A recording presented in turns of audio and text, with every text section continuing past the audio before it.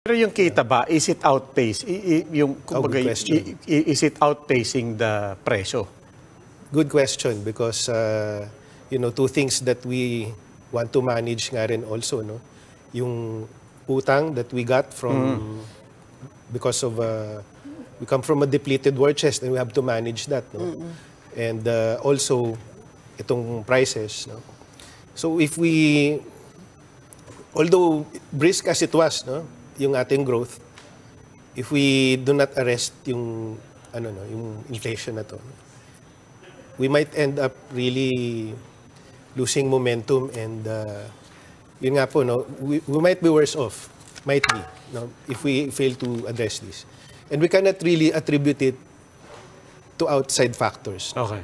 because we keep conveniently blaming no na Ah, ah, galing sa labas Ukraine, no Russia Ukraine etc China, but uh, you know yung indications no really of it being largely food driven already nag-pass through na po kasi. There's this term called pass through initially we had fuel driving it and then transport but now it's food driven and when it's food driven you have to remember Uh, factor the na ano.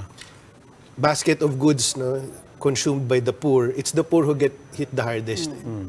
Kaya ho yung ano no yung latest figure if we look at it by class 8.7 ang general no? But if you look at the bottom 30% I think 9.7% ang kanilang inflation So it gets it's ano po no. We have to manage that no? And, and largely internal po yung problem.